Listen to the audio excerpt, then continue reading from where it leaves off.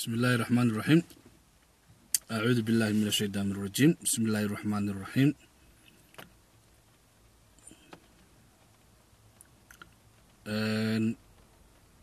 shaydaan xijaaban dhammaan wasalaamu calaykum waraxmatullaahi wabarakaatu dadweynaha sharafta iyo qiimaha mudan leh kusoo dhowaada t v-ga iro t v oo ah t v soomaaliyeed oo inta badan aanu kaga soo tabino barnaamijya wax ku ool ah. Iro t v waxa uu toos ugu xidhan yahay aaladan facebooka oo aynu ku soo baahino barnaamijyo aanu inta badan ugu talagalnay inaynu bulshada ku hoga tusaaleyno hadduu ilaah yiraahdo. Saad la socotaan barnaamijkeenii taxanaha ahaa ee aynu ugu magac darnay tabaalooyinka adduunka dhowr xilqadood oo hore ama dhowr musalsal ayaynu ka soo hadalnay oo aynu ku qaadadhigaynay qaabka ummadda soomaaliyeed ee u nooleed dhaqan ahaan iyo dhaqaale ahaan iyo siyaasad ahaanba. Marka halkii ayaynu ka sii wadi doonaa hadduu ilaah yiraahdo waxaa jiro dhibaatooyin badan oo ummadda soomaaliyeed ku gadaaman. Dhibaatooyinkaasi ayaanu doonaynaa bal inaynu qaab kood ama qayb ka mid ah aynu bal isku dayna inaynu bulshada u soo tabinno. Si mataqaan hufan oo qof walibana uu dareenkiisa ku cabiri karayo. Dadkuna markaa ay dee arrin lalasoo la soo gudboonaado ama xaajo la hor keeno sida caadada ama dhaqanka soomaaliyeed ahayd waxay ahayd in dee dadkaasi ay fahmaan ujeedooyinka saxda ah. Master dhowel farxaan ku soo dhowal walaalo markaa xaajo markay ugub tahay xaajadu markay ummadi hor timaado waxaa loo kala saari jiray curad iyo ugub midna waa mid hore u soo jirtay oo maareynteeda iyo munaasabkeeda hore loo ogaa. Midna waa mid ugub ku ah oo waa wax cusub oo u baahan in xeer cusub laga yeesho ama dee loo ula badsado ama xeer beegtidu ay dib u hagaajiyaan. Marka labadaa arrimood ma ayuunbaa inta badan arrinku uu ahaan jiray. Marka maanta waxaynu isku dayaynaa hadduu ilaah yidhaahdo xaajooyin curad ah inaynu ka hadalno. Siman soo dhowow waan ku salaamay calaykum assalaam dhammaan bulshada soo dhowaada walaalayaa ku soo dhowaada iro t v iyo aaladan tooska oo iro t v ugu xiran yahay ee facebooka. Asxaabta dhammaan waa idin soo dhoweynayaa marka maanta waxaynu doonaynaa walaalayaal rag iyo dumarba bal inaynu ka hadalno xaajooyinka curadka ah ee loo maara laayahay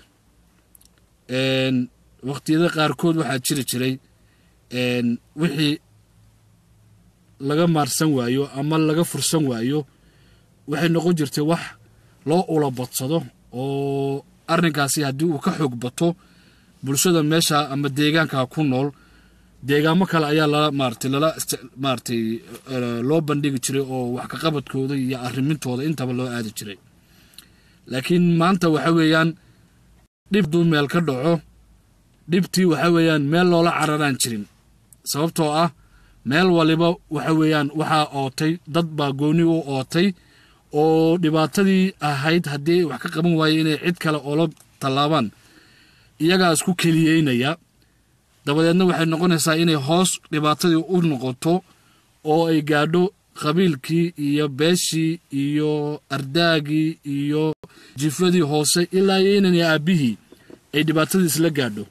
Halka waaga hore marka dhibtu badato nacamtiye la oran jiray war dee haddaanu beelhablaaya nahay arrintani waa arrin naga weyn ama aynu maareen kari weynay. Laakiin reeraha aynu jaarka nahay ama qabaa'ilada aynu jaarka nahay ama aynu dariska nahay aynu la kaashanno haddii reeraha wax ka qaban waayaan xataa aanu sii ballaarsanno oodda soomaaliyeed ood aan soo xirmin bay ahayd. Oo waxay ahayd ood ilaa iyo gacanka tojoro ilaa iyo mombaaso daadsan. Oo dadka ilaa halkaa intaa degan oo nin waliba dee soo bandhigi jiray dhibaatadiisi ayay ahaan jirtay. Xirsi caddi waan ku salaamaya nuur soo dhowow cabdiraxmaan waan ku salaamay. Master duwane qoraa sare haashim sheekh cumar waan ku salaamin adeer adiga iyo asxaabtaba ee waddankii joogta magaaladii boorama. Marka walaalayaal taasaynu maanta doonaynaa. Marka waxaa jiray koodhadhka ama xarfaha loo nayo marka arrin la cuskanayo yo annaga niri waa xaajadu waxaa loo kala saarayey curad iyo ugub. Marka ugubka dib baan u dhigan doonnaa laakiin curadkii arrimaha curadka ay jiri jiray sidey raggii hore iyo odayaashii iyo guurtidii hore sidey u xallin jireen. Ilaa waxa weeyaan marka aad arrin kula soo gudboonaado waa inaad arrinka ay jirto meel aad kula noqon karayso. Ummad waliba oo adduunkan ku nool oo ilaahay abuuray waxay leedahay qaab ay isu agaasinto ama ay isu maarayso. Nolol maalmeedkeeda nolosha ay ku gadaaman siyaasaddeeda xaaladaha ku soo wajahan si ay u maaraysaa jiri jirtay. Marka ummadahaasi ama dee dadyoogaasi ayaan inaguna ka mid ahayn soomaalida. Soomaalidu markaa waxay lahayd dhaqan aad u cajaayib ah oo mar waliba ka turjumaya xaaladaha taagan iyo kuwii horey u dhacay iyo kuwaas nagu soo foollaba. Waxaa jira caadooyin. Dadka inta badan waxay isaga qaldan caadada iyo dhaqanka iyo hiddaha dad badan bay isaga qaldan yihiin. Adduunyada dhaqan xun ma jiro waayo dhaqan xun hadduu jiro dee laguma dhaateen. Laakiin aragtidaada adiga kugu xumaynaysa. Adiga halka aad taagan tahay iyo waxa dhaqanka adiga kuu ah ayaa qofka kale dhaqankiisa kuu xumaynaya. Laakiin dhaqan xun adduunkan ma jiro. Dhaqamada adduunka markaad eegto gaaliya islaamba ummad waliba way ku dhaadataa. Afkeedana way ku dhaataan. Waan kaa qaaday haashim aad u soo dhowo walaalo. Aad maarata kaaga mahadinayaa suxufi caanaa tahay. Waxaynu ka hadlayna waa waxaad garanayso bulshadeennan maanta dee t v ku xiran aaladda facebookana maaratay tooska oga daawanaysa.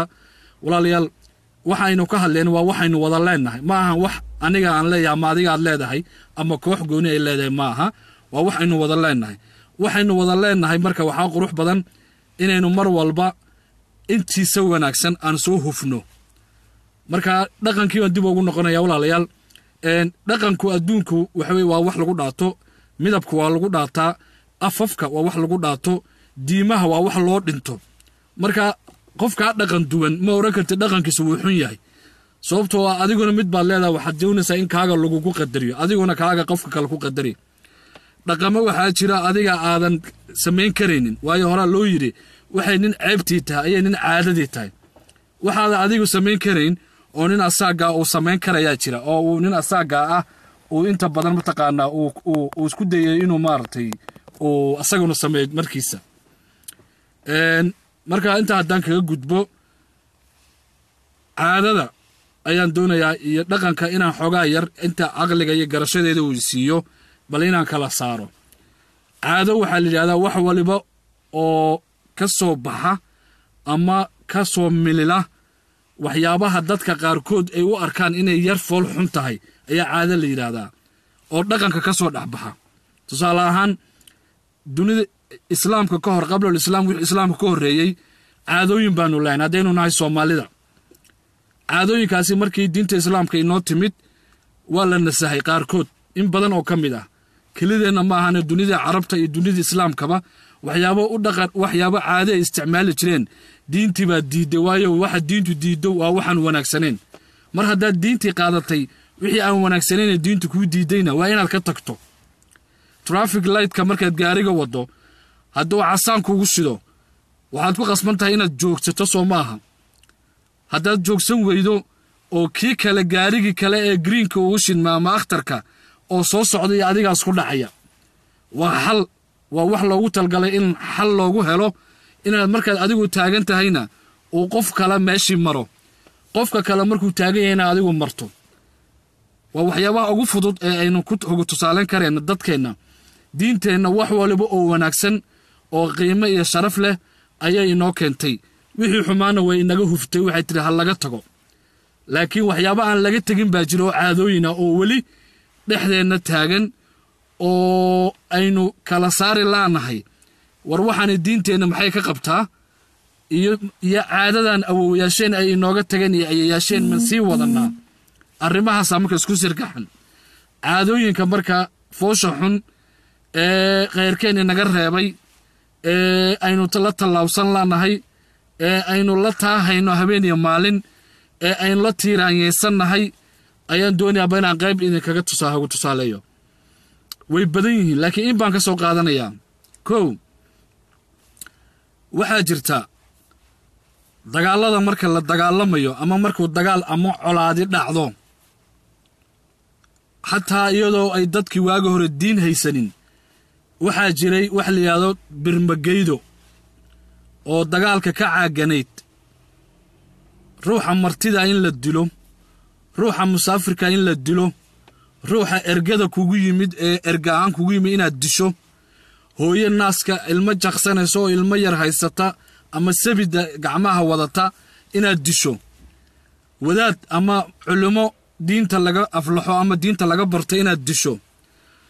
Nin fayodhowrnimada ku takhasusay dhakhtar ah oo dadka fayodhowra inaad disho.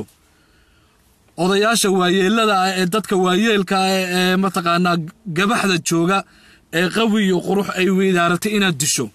Waxyaabahaasoo dhan waxay ka mid ahayd waxyaabaha birmageydada ah oo markaynu dhaqankeenni hore laga hadlayo xataa innagoo caadooyinkeenna weli ku dhex jirno inaan ka hadalno waxyaabahaan la ahayn in la dila ayaa ka mid ahayd. Dadku waxay isticmaali jireen waran iyo hooto iyo qolxad ninka ninba suu yaqaana ama mataqaanaa bilaawe ee gaashaan. Waxaasoo dhan waxay ahaayeen wax lala hadlo. Waranka waa lala hadlayey. Waan kaa qaaday habar wadaag muuse geel jira. Soo dhowow master begsi waan ku salaamayaa walaala soo dhowow raggiina meesha ku jira dee waxaa laydinkaga baahanya inaad bulshada garashada iyo caqliga waanu wadaagnaaya inaad idinkana u soo tabisaan dadkiinna waxa aad ka garanaysaan ama aad u soo joogteen rag badanoo meesha waxaa ku jira waa badan uu baryey oo dhaqanka iyo caadada iyo hiddaha soomaaliyeed wax badan ka garanayo. Marka walaalayaal aan dib ugu noqdo dagaalka waranka waa lala hadlayey warankaaga waad la hadlaysay oo waxaad lehay warankanow oday waayeelo kuma dhici kartid hooye isjaqsanaysu kuma dhacaysid marti ku dhici maysid wadaad ku dhici maysid qolxadkanay intaasiba ma dili kartid. Bilaabahanow intaasiba ma dili kartid. Wax lala hadlayay ahayd. Sideeda oola hadlaysaa marka waxaad oola hadlaysaa gacantaada ayuuna ka baxaynin oo uma quudhaysa inaad qofkaad disho. Laakiin maanta maxaa dhacaya in dabaabado taangiyo inta saf la geliyo transatad maxaa la odhan jeeda transate janta kuun dishe wax la yidhahdo aynu garanaynin waxyaabo noocaas ah oo aynu garanaynin iyo dhashiike iyo baroon iyo maxaa la yidhahda hoobiyaal in la asqeeyo reero dhan gam laga siiyo. Oo intii aan soo sheeginoo birmageydada ahayd ay ku jirto. Subxaan allah maxaad marka faa'iidday haddaad reer dhan oo nabad ku waabariistay oo meel degganaa oo aan waxba ilaa dadkii hore xataa markaan ka hadlayno oo dadkeennu dagaalka waa laisu sheegi jiray. Aan ku soo alqabsaday ninka muuse geel jiray meesha ku jira saaxiibkay marna habarwadaagaya dee aniga muuse haddaan isdilayno waan u sii sheegi oo waxaan odhan jiray war muusow dee buurtii heblaayey ahayd ama dooxay hebel ahaa ayaynu aniga adiga isku arkaynaa laba rag aynu nahay. Waa inaad diyaar garowdo markaasuu odhanayay muuse dee waa saxo. Diyaar baan noqonayaa reerkiisina wuu u sheegayaa carruurtiisii wuu sheegayaa. Maanta anigii ninkii abroona is hayno deetana wax la ogyahay ahayd. Reeruhu saasay ahaayeen. Qabiilka qabiilka kale ergu u diray wuxuu odhanayey anigii reer hebel haddaan nahay daaqsintaan ku heshiin mayno ceelkaan ku heshiin mayno markaasaan u kala hadho deetana waa aniga adigoo way noo tahay meel heblaayaan ku ballamaynaa buuraha lagu ballami jiray dooxooyinka lagu ballami jiray dhulka banka ah ama bannaan ayaa lagu ballami jiray. Kolkaasaa garodda laisdarayey ragga markaa la isku horkeynaya ee dagaalka bilaabayana dee nin walba ma ahayn. Ragga ayniga ah ee isleh ee isku gedaha ah ee isku sabanka dhashay ayaa laiska horkeynayey ninba ninkuu la itaal yahay ninba ninkuu la dagaal yahay ayaa laiska horkeyni jiray laakiin maanta walaalayaal sidaa ma aha. Caadadii caadooyinka xumaa ee aynu ka sheekaynayna aynu ku jirnaa intaa waxaan u soo guud maray. Maanta waxaa jira nin diyaar u ah inuu dilo abtigii koowaad abtigii labaad. Intaasi oo abtiyaashii ah oo ku gadaaman ayaa jirta. Waa runtaa muusow laisma gaadi jirin. Maanta maanta gaadmadaaba la qaatayba. Maanta waa laismirayaa yacni reer dhan oo seexday oo meel hurda oo ninaad shalay wanaag iyo walaalnimo ku kala tagteen ayaa saq dhexe gurigiisii hoobiye ku soo tuuraysaa marka nin baad is haysaan isma haysaan awlaaddiisi isma haysaan walaalkii isma haysaan in adeerkii isma haysaan nin qoraad is haysaan. Maxaa marka hoobiyahani ninkan iyo carruurtiisii iyo xaaskiisii iyo dadkii oo dhan inaad disho maxaa keenay? Waa qayb fulaynimada ka mid ah. Waa fulaynimo nacasnimo noqotay nacasnimada iyo doqonnimadaaba isdhaantaba. Nacaska iyo doqonka iyo hacoogu waa saddex darajo. Saddexdaas buu ka sii liitaa kan waxaa samaynayo. Marka aan ku soo noqdo walaalayaal bal ninka abtigii dilay ama abtigii laga hahayo inuu dilo hooyadii ay ku leedahay inankaygiyow ama wiilkaygiyow waxaanaad doonaysa inaad soo disho waa walaalkay waa curadkeenni ama waa gura dambayskeenni ee hooyo ha dilin. Aad leedahay may wallaahi ununkan jarayaa waan dilayaa. Anigu anoo reer hebel ah ayuu ma aragtay. Ana adeerkiibuu la hadlay. Hooyo may kani waa kii la dhashay. Anigu hooyadaabaan ahay. Markaa hooyo maanta ama waxaa dhacdaba hooyadaasi markay inankeeda intaa guubaabinayso inankaasi hooyada la dhashay inuu kelidii ka harayba reerkii oo dhan walaaladeedao dhan inuu kelidii ka haraa laga yaabaa. Ama uu curad u ahaa ama uu gurdambeys u ahaa ama uu dhexda ku jirayba oo uu kelidii ka haray. Hooyadoo lilmadii ilmaha gondaheeda qooyeen ayaa inankeediibay sasabanaysaa. Oo leeda hooyo waan ku dhalay. Inankaasaa walaalkaya ii hadhay hooyow intaad badbaadin lahayd. Ma adigii baan kaa hayaa. Inankeedii iyadoo la yaaban oo la amkaagsan oo waxa uu afkiisa ka soo baxay la yaaban ayaa saygeedii odaygii qabina halkan taagan yahay. Oo uu leeyahay inanka wuu saxsan yahay walaalkaa wuu gardaran yahay waa in la soo dilo ay leedahay waar guraatow adna maad iigu biirtay. Waar walaalkay maanta badbaadi adigaan kuu dhaxay adigaan owridaada ahay owlaad baan kuu hayaa owlaaddan anaa dhalay kuwaasna aanay ila dhasheen. War maxaa maxaa hadhow yaa xidid kuu noqon yaad gacal noqonaysaan yaad u askatoon yaad ku caban haddaad kaa disho. Markaasuu leey may waa in la dilaa. Halkaa ardaaga guriga xaggiisa sare ardaaga waa meeshaan idiin sheegay miyigii baan joognaa. Filimku waa xaggii miyigan noo celiyey ardaaga guriga dhinaciisa shishe ama ooda xaggeeda sare waxaa jooga oo hugunkooga laga fadhiyi laayahay beeshii dagaalka ku socotay oo ninkan bulxamaya inaaderadii iyo kuwii kale ka sii isaga laba imaaro labaad ahaayeen iyo inamadii la dhashay iyo ay taagan yihiin hooyada halkani ku ooyeysaa wiilkeedii iyo waxaa dagaalka ku sii socda ninkeedii iyo ninkii dumaali lahaa ee ahaa la dhashay saygeeda ilaah baad ku dhaarsiyey bal caadadaasi caadadaasi idinkaan idiin soo dhiibaye ma habboon tahay inay nagu sii dhex jirto. Caadadaasi inuu ku dhaqmo qof islaam ah miyay habboon tahay? Caadada noocaas ah miyay habboon tahay inaynu sii barbaarinno oo aynu sii qurxinno oo aynu sii iclaaminno oo aynu ka dhigno wax maaragtay technology ah oo nidhaahna maanta dagaal baa dhacaya. Ilahay baa idinku dhaarsheeye caadada noocaasa siday tahay. Waxaan aaminsanahay inay jiraan rag badan oo abtiyaashood gacantooda ku dilay. Rag badan oo wiilashay abtiyaasha u ahayeen gacantooda ku dilay inay jiraan. Dhinaca kale ooridii ooyeysay ee wiilkeeda iyo odaygeeda celinaysay iyo kii dumaali lahaa. Dhinaca kale yaa dagaalka ku jira weeyaan. Dhinaca kale yaa haddana dagaalka ku jira. Waa aabbaheed waa walaalkeed iyo waa adeerkeed. Bal u fiirso ooridani ooyeysa aabbaheed iyo adeerkeed iyo walaalkeed ayaa dagaalkii dhinaca kale kaga jira. Dagaalka waxaa ku sii socday ay og tahay maantana ay qureec u karisayna waa wiilkeedii iyo ninkeedii iyo kii dumaali lahaa. Fooddaa lays daray dowxiblaayo ayaa foodda laysku daray. Waxba laysuma reeban yacni cabdikariin waan ku salaamay walaalo soo dhawow. Cabdikariin xuseen migane soo dhawow naader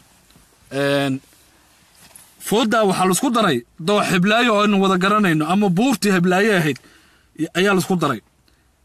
Qacda iyo qobta unbaa la maqlayay. Dananka fardaha iyo maxaa la yidhahdaa fallaadhaha mariidda le iyo qolxadka iyo iyo hootooyinka iyo warmaha ayaa laisla dhacay.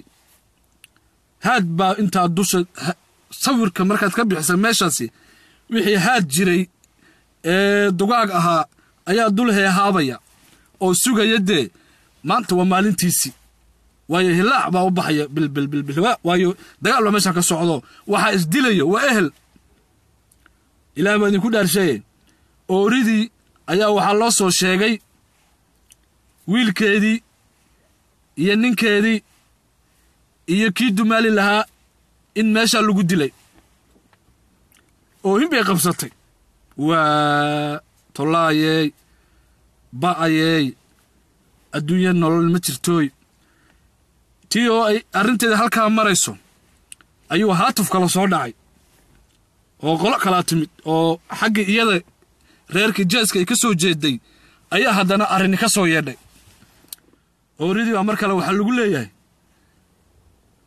aabbahaa walaalkaa adeeradaa gam cidna kama joogto oo meeshii meel heblaayo ku leedeen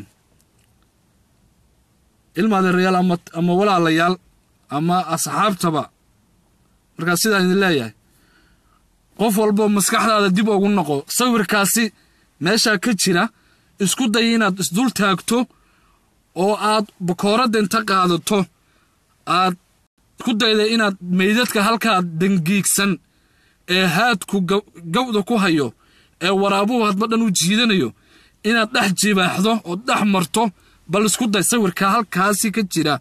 Maxaa kuu soo bixi kara? Maxaa kuu soo bixi karaya? Hooyadaasi markaa waa hal laba geella dhaan hal laba gacmood la dheelmiye dhanna oo ma fayooba soo ma aha labadii dhanba way seegtay waa goblan. Waa double goblan weliba. Goblan keliya maaha waa double weeyaan laba geeriyaad baa la yidhahdaa goblan way dhaaftay. Caadada noocaasa ayaa ku jirta caadooyinka aan weli leennahay haddaanu soomaalinahay caado ka foolxun uma malaynaya ama ka uruga iyo calool ku taallo badan inay duniyadan maanta ka jirto uma malaynaya caadada noocaas aynu ka gudubno. Caadooyinka kale foosha xun leh waxaa ka mid ah ee maanta aynu caadaysannay ee aynu ku faanayno waxaa ka mid a mooroduugga waxa la yidhaahdo. Mooroduug wax la yidhaahdo. Waa maxay mooroduug mooroduugga waxa weeye mooro waad garanaysaana waa halkii xooluhu dee lagu mooradii ay yaalleen ama garaangarta halkii ay reerku degganaayeen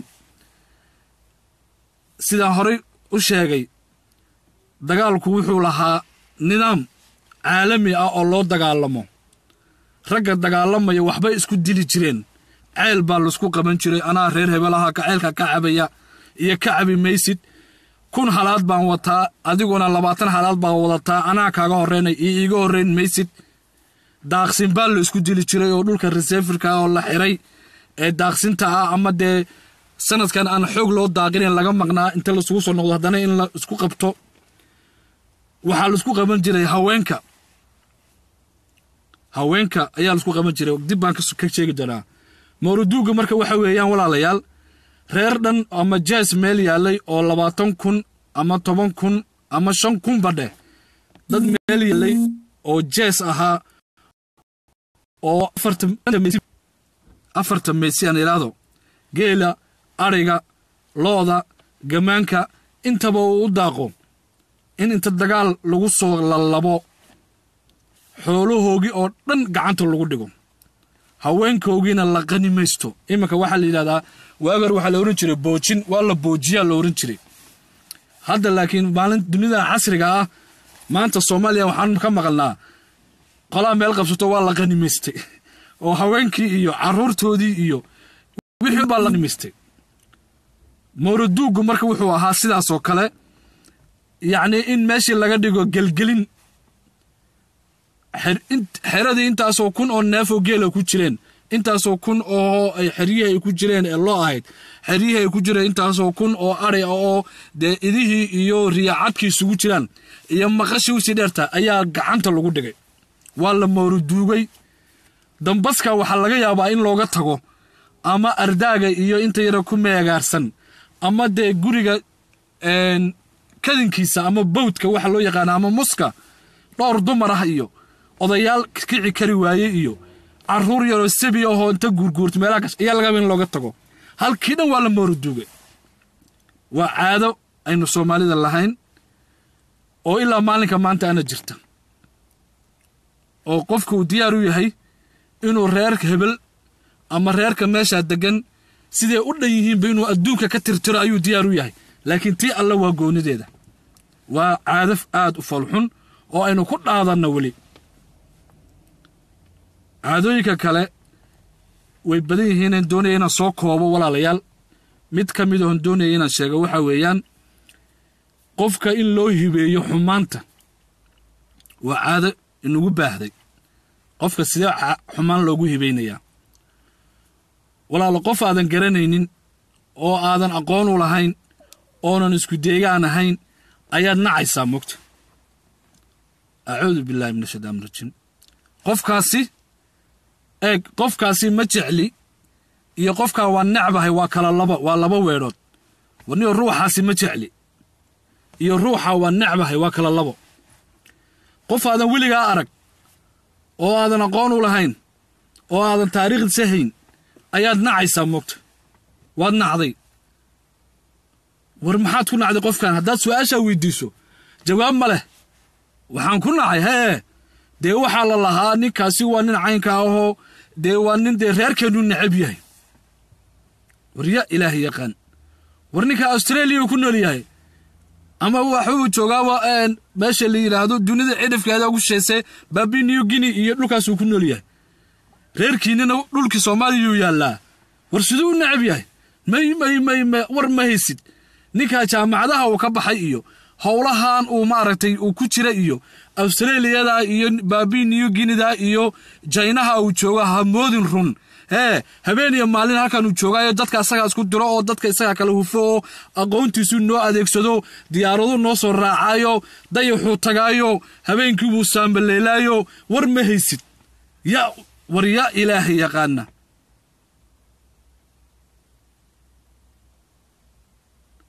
marka waan ku salaamayaa muuse geeli jire walaal intaba waa loo isticmaalaa.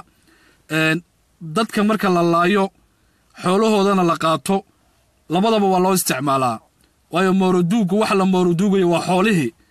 Marka haddii xoolihii lagaa dhaco aan ku soo noqdo nin baa su'aal soo weydiiyey walaalkaya xoolihii haddii lagaa dhaco oo afartii maysiba lagaa qaado waa lagu mooraduugay nololi kuuma harsano marka waxaa weeyaan waa caydh baa taa marka dawarsibaa dawarsi unbaa kuu furan. Iyo inaad dee inta tiraahdo colkii baan ka daba duulayaa in lagu baabi'iyo. Marka mooraduuggu waa sidaa oo markii dee xoolihiina la qaaday dadkiina laysku daro la laayey wixii oo dhan waa laisla mooraduugay marka waxaa tahay caydh halkii aan ka sii wado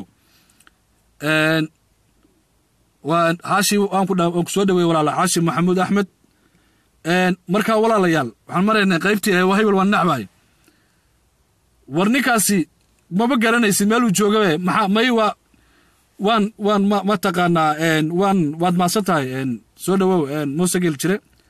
Cabdiraxmaan aamiin master atam soo dhowow farxaan xidig waan ku salaamay soo dhowow marka walaalayaal waxaan dhex socday caadada foosha xun qaybtii ahayd hebel waa necbahay oo reerkeenu necab yahay. Marka qofkani adiga yaa yaa kuu sheegay inuu intaasi inuu dayaxa tago oo habeenkii saamaleelo oo diyaarado soo raaco oo kala goosho oo u n ta tago inuu reerkiina laayo oo reerkiina lacag ku soo qaato waxaa dhan yaa kuu sheegay. May waa la sheego dee meel walba hadduu fiirso waa caado fool xun. Qof aadan garanaynin oo aadan waxba isku darsanin oo waxba idinka dhexaynin oo ynan isku deegaan ahayn ayaad leedahay waa necbahay sababtoo reerkeenu anigana necabya waayahay reerkiina la nacayo war reerku ma qof quraa? Reerku ma qof baa? Qabiilku ma aha qofte. Qabiilku waa ummad ballaaran oo boqolaal kor u dhaafaya oo kumanaan dhaafaya oo milyan noqonaya qabiilku.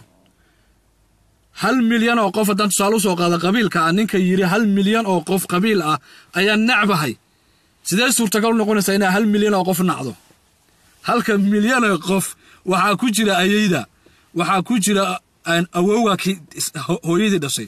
Waxaa ku jira hooyada waxaa ku jiro abtiga waxaa ku jiro gabadha gabadha adigo aad qabto ama xaaskaaga hooyadeed. Waxa dadka ehelkaagi oo dhan ayaa ku jira halka milyan. Aad tiri waa nacbahay oo waa reer hebel. Dee markaa ma adigaa waalan ma caadadaa fool xun ma waxa laguu sheegaa qaldan ma waxyaabo aynan ogeyn baa jira. Soo inuu qofka caqliga ilaahay siiyey garashada intuu dib ugu noqdo uu keligii sal mug u fadhiisto uu yidhahdo warniyo maxaa qaldan taa miyaynan ahayn. Ta kale aan ku sii wado caadooyinka foosha xune weli inagu dhex jira ee aynu buunbuuninno aynu qurxinno waxaa ka mid a iyadana.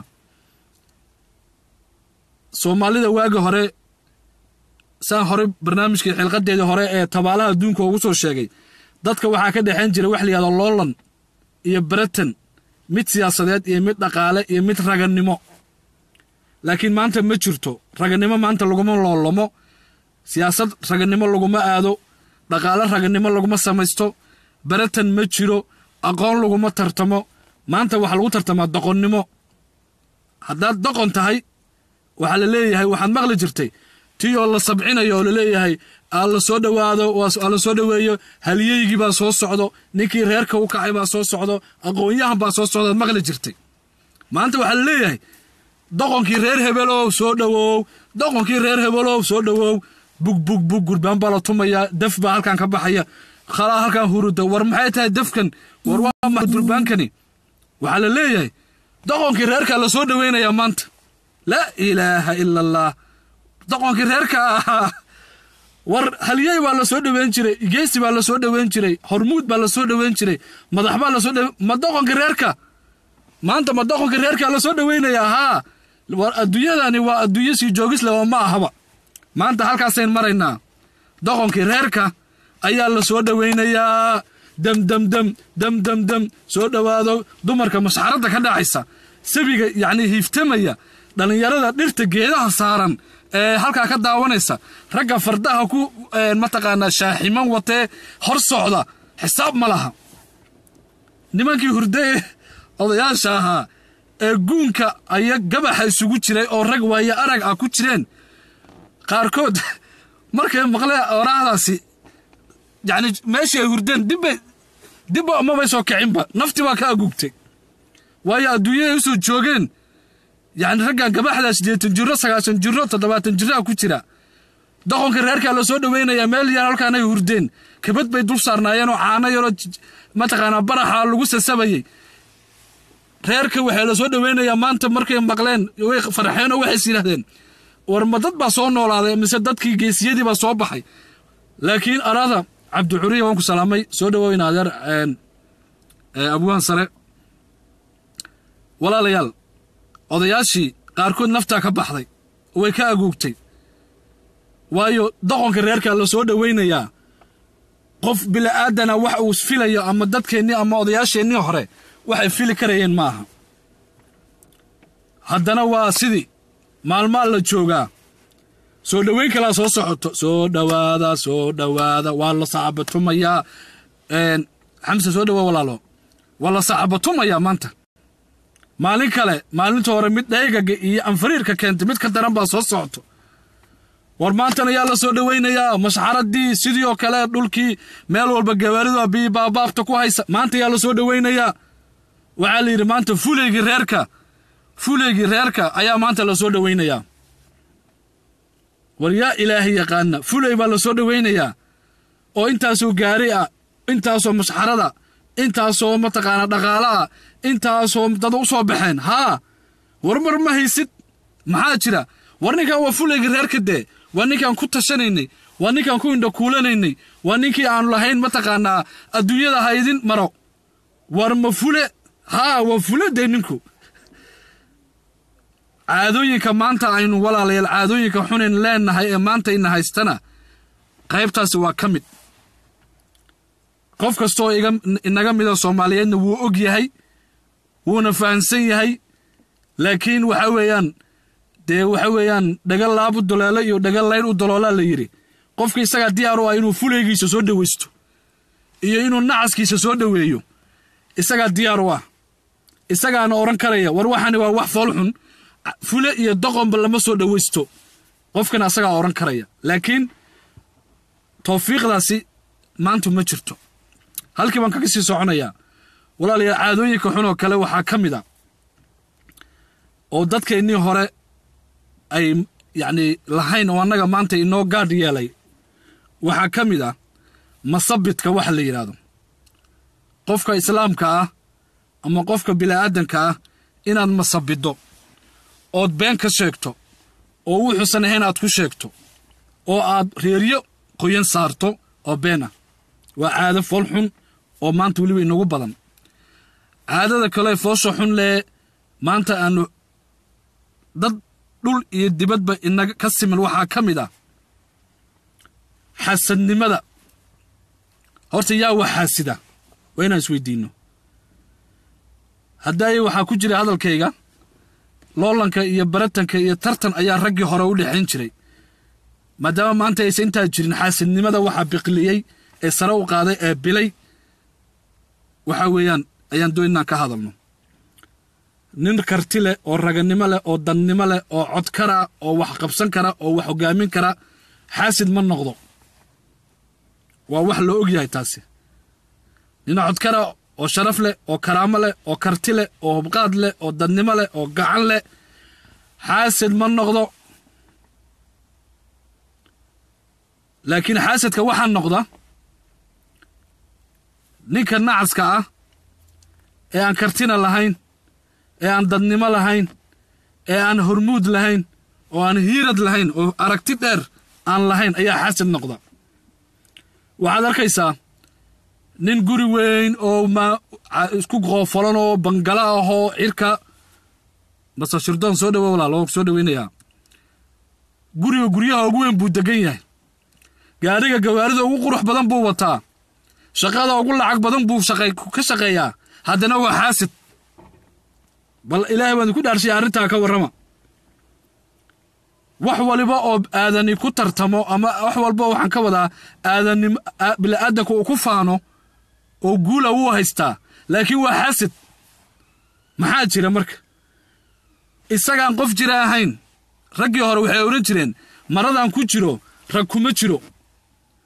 Maradaan ku jiro master abshir cali qood soo dhaweyn adeer soo dhawo soo dhawo islaan sare. Soo dhawo islaan. Raggii hore waxay odhan jireen maradaan ku jiro nin kuma jiro haddaan waxay waxaa la samayn. Marka ninkaan aan idin leeyahay dhaqaale kastuu haystaa guri kastu guriga guryaha ugu qurux badan haystaa gaariga gaariga ugu qurux badan buu wataa. Haddana waa xaasid. Maraduu ku jiraan rag ku jirin. Qof jira ma aha. Daas waay markaa ma arko ilaahay wuxuu siiyey ma arko. Ilaahay waxa uu siiyey ma arko laakiin gabadha walaashii iyo wiilka walaalkii iyo inanka soomaaliyeed waxa uu haystaa ilaahay tusay. Waxaa la yidhahdaa marka ilaahay waxaaga ku tus. Waaba duco dadka inkaar bay u haystaan laakiin waa duco maxamed cali soo dhawow halaal